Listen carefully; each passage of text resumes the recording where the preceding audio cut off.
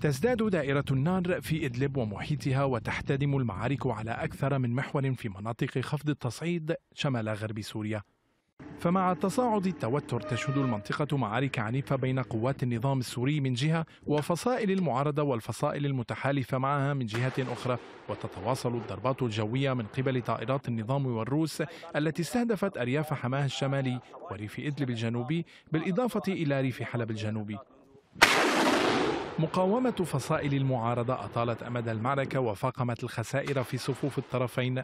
ما دفع الجيش الروسي لإرسال تعزيزات عسكرية جديدة إلى سوريا في الأيام الماضية.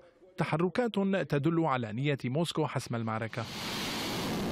في المقابل تركيا على غير عادة تتوسع بتصريحاتها وشروحاتها حول الاستهداف الجديد لإحدى نقاط مراقبتها في ريف حماه الأمر الذي استدعى الرد من قبل الرئيس التركي مهددا بالرد إذا استمر الهجوم على قواعد المراقبة العسكرية مضيفا بأن أنقرة تتابع التطورات في إدلب. فراس حمزة العربية.